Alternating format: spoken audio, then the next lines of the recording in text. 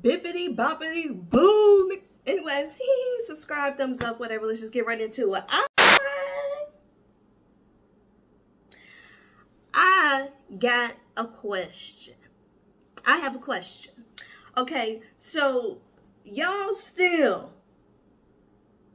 in the 2022 playing with people's money?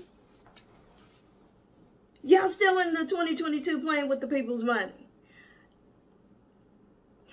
You know niggas is getting shot over hurt feelings and stepped on shoes and y'all just still pushing your luck. Okay, so let's just get right into it. Y'all know what to do. Subscribe, like, blah, blah, blah, whatever. But I just, okay, so let, look, look, let me tell y'all something. Okay, so I was scrolling through the TikTok as one does in their free time, and I came across this woman. She said, and she's sitting over here crying. And normally, when the people on there crying, I, am not gonna lie to you, I scroll past. I ain't got time for all that. I, you know, sorry for you, but I, I, ain't about to listen to all that. Pray for sorry that that happened, or I hope you learned your lesson. You know what I'm saying? But anyways, this time I was compelled, and my spirit said, "Let me see why this lady crying." Well, okay, look. Make a long story short, so the lady she a little DoorDash driver or something, right? And she's crying because she picked up the little groceries or whatever, took it to the little person's house who ordered the stuff, and and the person had the nerve to to say that they didn't get their stuff. So DoorDash closed the woman's account because it looked like she stole the person's groceries when actually she didn't, and it was a it was a it was a, a pretty pricey order this woman, this was her, she had, she was in between jobs. This is how she was supporting her children. This was how she was making ends meet, trying to feed her kids. And somebody came online, said they didn't get the order, so they didn't have to pay for it. You know what I'm saying? Apparently, this this is a thing. People are ordering stuff and saying that they're not getting it, and then DoorDash is forced to close people's account, close the driver's accounts. And apparently, a lot of the times, uh, you can't prove that you actually dropped the stuff off. How bold of you. If you're not afraid of karma and doing that to somebody, this woman sitting here crying because she can't fit kid. You know what I'm saying? It, look, update on the woman. Uh, of course, the TikTok blew up. DoorDash ended up figuring out blah, blah, blah. The woman got our account back. But I, I just can't believe you trifling people it's people out here that's really that trifling. If you're not scared of karma, why don't y'all y'all do know that these people know where you live, right? You're not afraid of somebody rolling up on you, man. What you saying? You ain't get your stuff. You ain't get your stuff, man.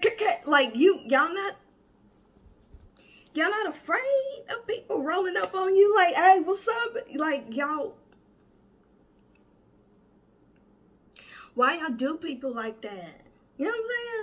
I just I just thought I just thought it was so wild. I just thought it was so so bold, and and and you know people get desperate they ain't got no money, and it seemed like they was having a birthday party, whoever it was, because the girl said she ordered a whole bunch of drinks and pops and waters and all this other. So she heard this heard this was probably some little ghetto person trying to have a little little birthday party, a little cookout or something for their little for their little snot nosed children, or little broke down baby daddy or something. And I'm just like,